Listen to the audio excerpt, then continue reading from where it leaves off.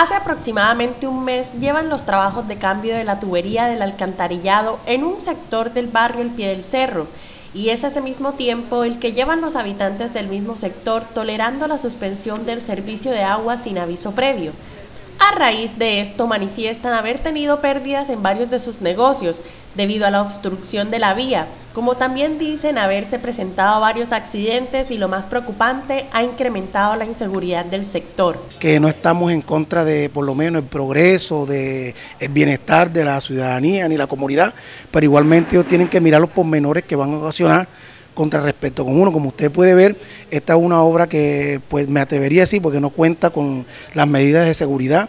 En el caso por lo menos, fíjese, nada más que tienen habilitado un sendero, por aquí transitan motos, transitan personas, hay muchos colegios abajo, que hay muchos niños.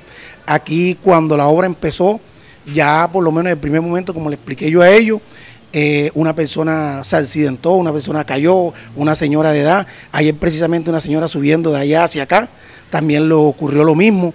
A nosotros como negocio, como en la parte comercial, nosotros vivimos de esto, esto es el sustento nuestro. A sabiendas que no es una tarea relámpago, esperan que el proyecto se ejecute en el menor tiempo posible para así poder reanudar sus labores diarias y mejorar sus ingresos.